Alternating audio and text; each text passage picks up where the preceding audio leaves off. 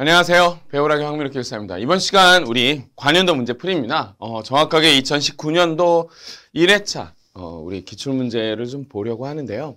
어, 사실상 여러분들이 기출문제에 신뢰도가 없는 건 사실이기는 합니다. 어, 그런데 어, 개인적으로 말씀드리면 어, 사실 기출문제만큼 좋은 문제도 없습니다. 어, 일부 몇 문제들은 기준이 변경돼서 좀 여러분들한테 불편함을 줄 수 있기도 하고 좀 풀이 과정에서 조금 애매한 것들도 물론 있습니다. 그래서 그러한 것들 여러분들 현장에 가셔서 실수하지 않으셨으면 하는 바람 그리고 여러분들이 좀 공부하셨던 걸 어떻게 좀 잘 적용할까 하는 부분 그리고 제가 말씀드렸죠. 자 이론부터 실기까지 필기부터 실기 그리고 또 예, 기출문제 모든 과정에서 사실상 우리가 안고 갈 수 있는 문제가 있다라고 말씀드렸고 안고 갈 수 없는 문제가 있다라고 말씀을 드렸어요.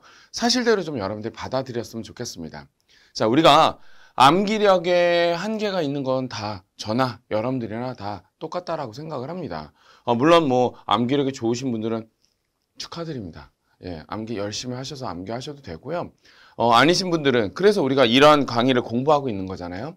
어, 가능한 한 조금 자, 최선으로 가능한 한 조금 적은 범위로 반대로 가장 효율적으로 전략적으로 좀 공부할 수 있는 방법이 뭐가 있느냐입니다.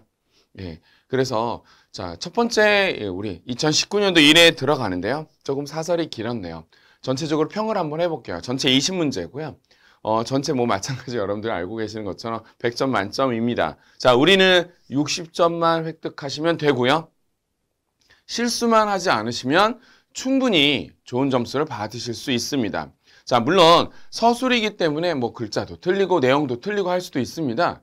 예, 그렇지만 우리는 부분 점수라고 하는 게 있기 때문에 자, 반드시 좀 짧은 단어들은 용어들은 정확하게 써주시고 자, 간단하게 풀 수 있는 문제들은 확실하게 풀어주시고 우리 12번 문제가 굉장히 많죠. 내용도요. 자, 이거 한 문제 틀리면 그 뒤로 다 틀리는 문제입니다. 어, 그리고 배점이 13점이에요. 자, 저 같으면 과감하게 포기할 수도 있다고 생각을 합니다. 예. 13점입니다. 빼고 계산하셔도 80점 선에서 여러분들이 20점의 여유가 있기 때문에 어, 그런 거 너무 걱정하지 않으셔도 저는 괜찮다고 생각을 합니다. 그래서 차근차근 단계별로 잘 밟고 나가시면 좋겠습니다. 그래서 이번 문제도 자, 그러한 관점에서 여러분들이랑 좀 같이 보도록 하겠습니다. 자, 1번이요. 이런 거 틀리시면 안 되죠. 자, 그래서 태양, 예, 태양광 발전 시스템인데 독립형 태양광 발전 시스템이라고 얘기합니다. 그럼 키워드가 하나 정해지죠. 어떤 거예요? 독립형이라고 하는 건 연계를 하지 않는다. 개통과 연계 안 돼 있다. 자, 이거 그냥 극단적으로 그죠? 등대라고 생각하시면 되죠. 자, 밤에 불 켜야 합니다. 예. 외딴 섬에 홀로 서 있는 등대요. 자, 전원 공급 어떻게 할 겁니까? 그죠? 축전지로 해야죠. 어쩔 수 없습니다. 밤에요. 자, 밤에 축전지로 해야 하니 사실상 낮에 태양광으로 열심히 충전해 주셔야죠. 그런데 문제가 뭐가 있어요? 예. 사실 연이어서 나오는 것들은 부조일수라고 하는 겁니다. 그러니까 용량이 조금 더 많이 갖고 있어야 한다라고 하는 그러한 부분들까지 여러분들이 여기에선 기억해 주셨으면 좋겠고 구성이니까 뭐 사실 모듈부터 시작해서 축전지가 있으니까 축전지 있어야 하고 자, 그 사이에 충전과 방전을 같이 해야 하는 예, 충방전 제어 장치가 있어야 되겠죠. 자, 그 다음엔요.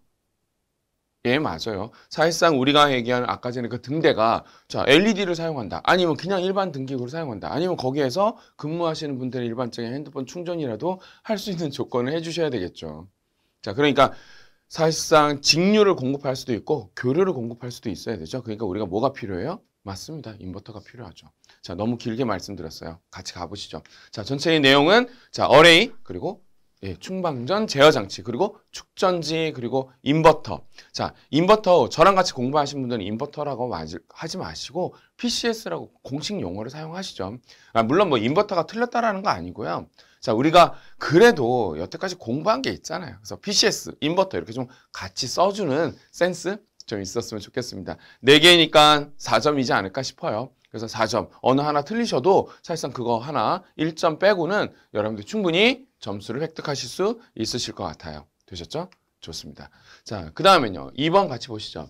자, 다음 그림은 죄송합니다. 제가 그림을 안 그려놨네요. 여러분들 교재에 있습니다. 자, 우선은 뭐 사실 제가 그림을 안 그린 건 아니고 깜빡 잊었어요. 어, 죄송하고요. 그림은 지상 설치 시 기초 형식에 대해서 대한 그림이다라고 되어 있네요. 자, 어떤 형식의 기초냐? 그 기초의 형식을 쓰고 설명하시오. 자, 예상하건대 사실 이 문제가 한 4점이나 또는 3점 정도 된다라고 보면 자, 기초의 명칭을 쓰세요라는 1, 2점은 받으실 수 있으시고요.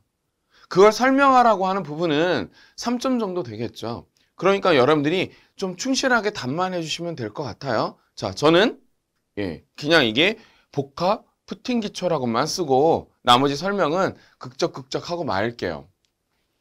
되셨나요?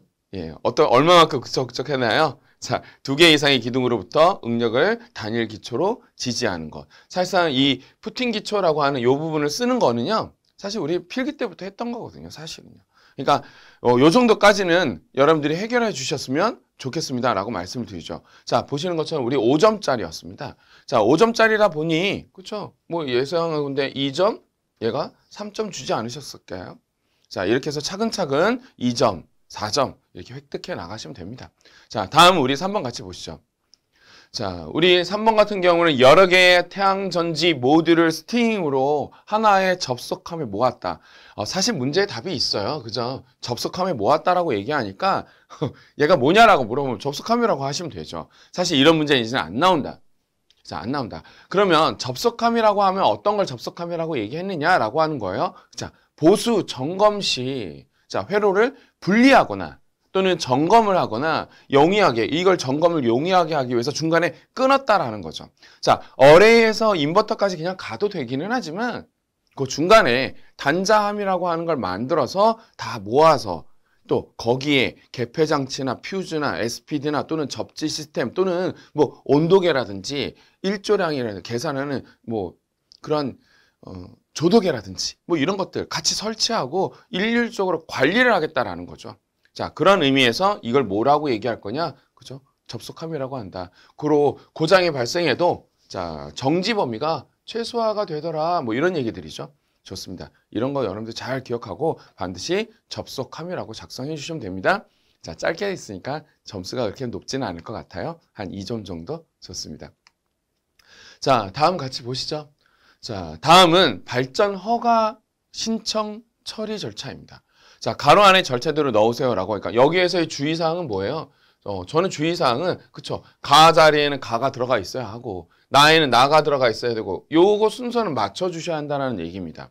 자, 그러니까 사실상 그쵸 자, 신청서를 작성하고 제출을 하면 접수를 해 주시겠죠. 자, 접수가 끝난 다음엔 그죠 예, 검토가 이루어져야 되겠죠. 그리고 그죠. 우리는 발전 허가 신청, 발전 허가라고 하는 건 사실상 공공의 이익을 따졌다. 그래서 전기 심의 의원회 심의를 거치셔야 되겠죠.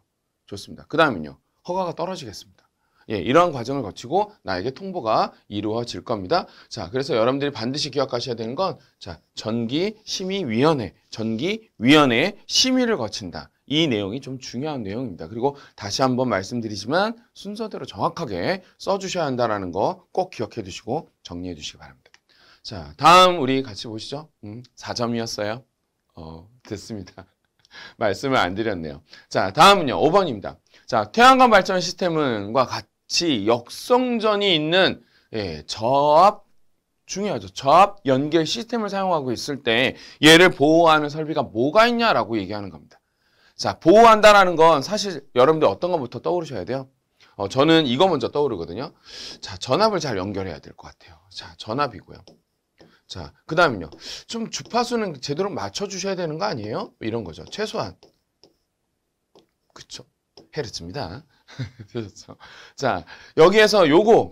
자, 요게 머릿속에 떠오르셔야 되고요. 그러면 내가 맞춰줘야 될 전압이 있고, 내가 맞춰줘야 될 주파수가 있겠죠. 그러면 높을 수도 있고, 낮을 수도 있겠죠. 높을 수도 있고 당연히 낮을 수도 있겠죠. 자, 이런 내용이니까 과산압 계전기, 저산압 계전기, 과주파수 계전기, 저주파수 계전기 이렇게 작성을 해주시면 충분하지 않겠느냐라고 생각을 합니다. 되셨죠? 그러니까 뭐 여러분들 이거는 바로 이렇게 그 계전기의 명칭을 써주시면 됩니다. 어, 사실 이 옆에 그쵸? 어, 약어가 있습니다. 약어. 약어도 여러분들 어쨌든 따로 물어보기도 하니까 그래도 좀 기억하시는 거 자, 권해드립니다. 그 다음에 하나 더 있어요. 어떤 거가 있냐면 자, 이거요. 자, 저전압 계전기라고 할 때 우리 교재에 여기에 부족이라는 말을 쓰거든요. 자, 이 부족이라는 말을 쓴다라는 말은 사실은요. 그죠? 어, 똑같은 얘기입니다. 아, 똑같은 얘기여서 자, 부족 전압 계전기라고 기억하셔도 되고 부족 주파수 계전기 이렇게 하셔도 전혀 상관없습니다. 어, 선배님의 선배님의 선배님들이 주로 많이 쓰시던 그 부족이라는 말입니다. 자, 어쨌든 뭐 똑같은 용어다. 그렇게 기억하고 넘어가셨으면 좋겠고 각각 1점씩 되겠습니다.